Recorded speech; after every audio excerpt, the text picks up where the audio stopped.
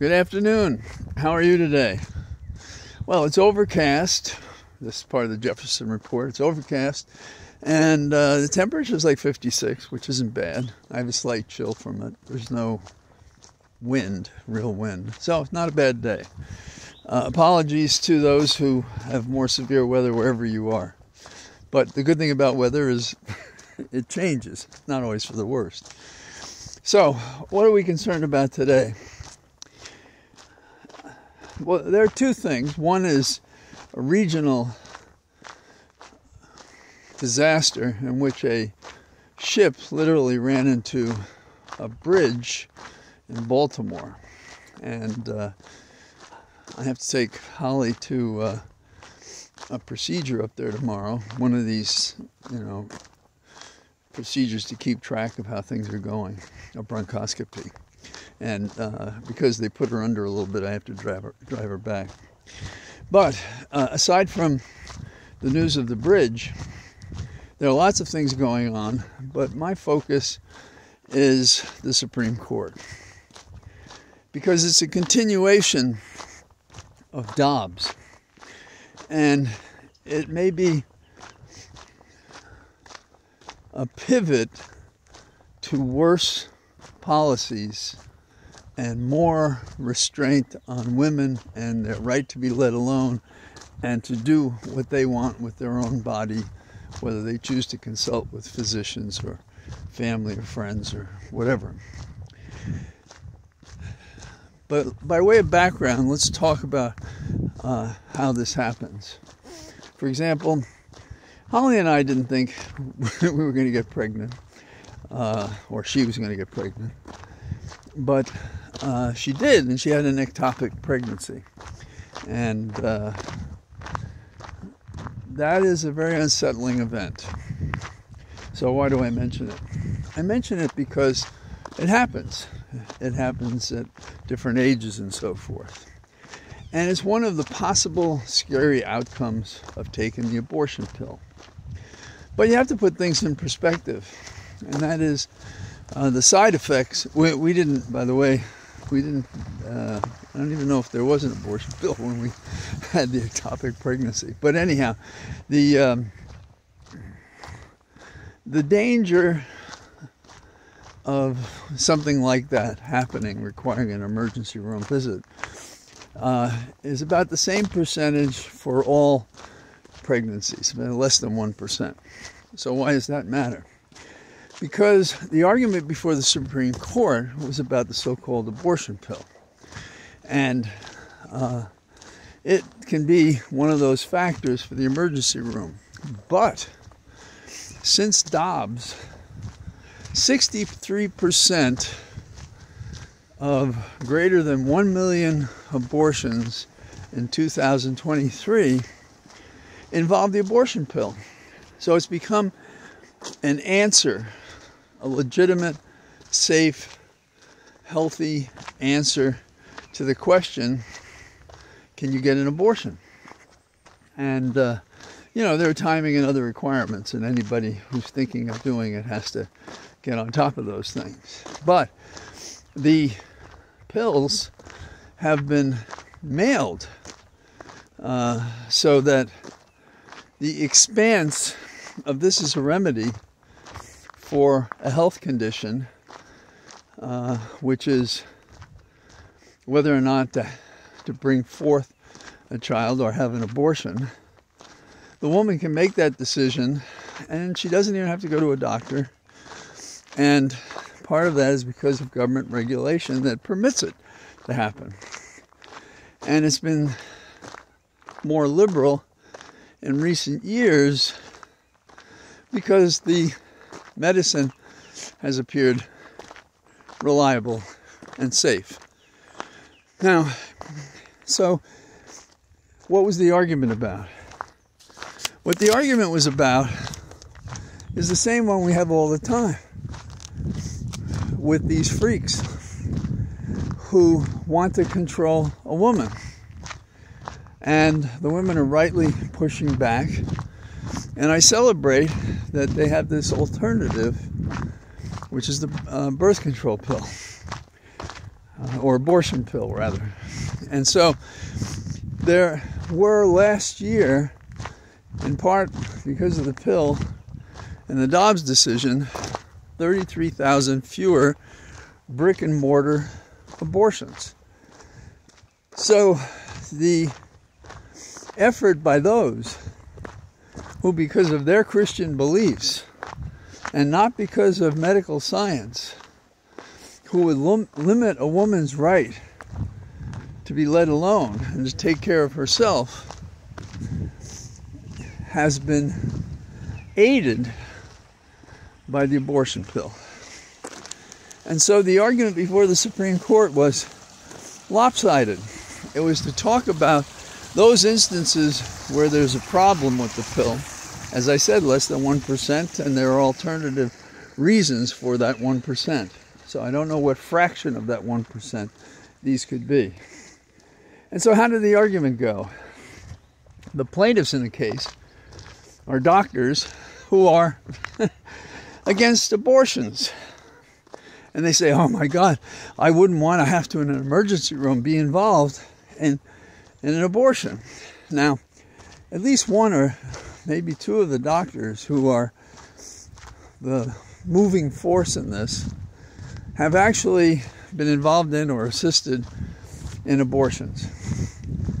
Now, here's the kicker, and I disagree with this, but this is the way it is. A doctor can, based on their conscience, say, I am not going to be involved in this abortion. Okay, now that bothers me for a lot of reasons, but it turns out that the Solicitor General says it is presently an exception. So no doctor has to uh, do this if, as a matter of conscience, they don't want to do it. Now, the argument by the anti abortionists was well, you know, it's an emergency room. There are difficulties that happen. And there was a question by the justice about whether or not any of these doctors had objected at the time that they were involved with any abortion and invoked the exception that applies to them. And as best I could tell, because I was writing, the answer was no, they didn't object. So their elective not to be involved was not invoked by any of the doctors bringing this case. And the argument of it being an emergency uh, been covered by other people. And finally, they would have this rule apply to what? All people who, all women who might use the abortion pill because 1% or less of the use of that pill has side effects. Now, you may or may not have in your medicine chest things that you take, uh, and, and, and this stuff is not regulated, but you may also have medicine that a doctor has prescribed for you. And every one of these medicines has side effects and risks, and they describe what they are. So it's kind of business as usual for how we take care of our health. So this is an adventure by the anti abortionists to limit a woman's right to use a pill that may be safer than surgical procedures and is probably less expensive, though uh, a procedure like this may be covered by insurance. And the anti abortionists want to cut off all paths to have well, an abortion, or is it really a form of avoiding a possible birth? So, what do you think we should do about this? Well, I think I think they should deny the whole thing. Because once again, the plaintiffs are bullshitting us. They're not at risk to do something that they don't want to be involved in. And they are talking about a tiny percentage of all those uses they have. And they're setting up the Supreme Court as the arbiter of medical science when we've done all these tests and so forth in the government agencies that justify the use as they are now being used. So I celebrate capitalism, which is obviously one function of the use of the birth control pill that has been found medically sound. And I understand that one has to be careful about the source of the uh, abortion pill that one uses, but that's, you know, that's common sense. And what we have is innovation to cure an effort by the government, by the Supreme Court, by the cult of six, in an Alito decision to deny to women their right to be let alone. And so, this innovation, which is in part a medical rebellion, fulfills a woman's right to be let alone. So, I'm all for it. And if the Supreme Court didn't have so many jackasses on there, this wouldn't have even been heard. But, uh, and, you know, it's come, things are coming up through the court system that send us back years and years. And uh, I can't help but believing that there are some women, perhaps young, perhaps poor, perhaps not aware of what they can do, that are having alleyway abortions with all the old ways that cause all the pain and suffering and injury and death to women who couldn't get an abortion, couldn't afford it, were told they couldn't have it. So, the argument today, it's been suggested by the questions, will lead to a very narrow reading of the demands by the doctors. But here we have again hypothetical doctors who claim that, oh my God, I don't want to be involved in an abortion, and yet they have no evidence that they ever sought to invoke this permissive election until they filed this case. And then, oh my God. So, what else is going on? Well, there are a couple of things that interest me, uh, and perhaps you. One is how we deal with Israel. Now, Netanyahu, he's a dinner guest you might not want to have. Apologies to those who love him, but I, I can't see it. The uh, so Netanyahu is upset that in the UN, America abstained. Now, they abstained from a ceasefire proposal that required there also being a handing up of the hostages. Now, the, there were 14 who were for this passage. Now, we could have vetoed it and we we did previously, but we did not. We abstained. And so a fair argument is that all these nation states wanted this. And so it was plainly a majority choice. And we have been conflicted, but we were not ready to defy what the majority wanted. And so, as a result, the measure passed. Now, Netanyahu is furious with us, and there was a meeting scheduled this week in Washington between Israel and us, and Netanyahu has canceled it. Now, this is the mark of a small man, because what is the danger of having a sit down and talking about it? So you cut off communications undermining our efforts to support Israel with funds. And Netanyahu presumably needs these funds and he acts this way. Now, you know, he has, despite some reports, he has trouble with his own government, trouble with the prosecution of himself, and some people have decided, like happens in any war zone, enough is enough is enough. So I don't think Biden has anything to apologize for. And I think that was a, a proper way to handle the situation. And, you know, I guess Net, maybe Netanyahu says, don't give us any money. they already have our equipment and our money and ways to get more. So, uh,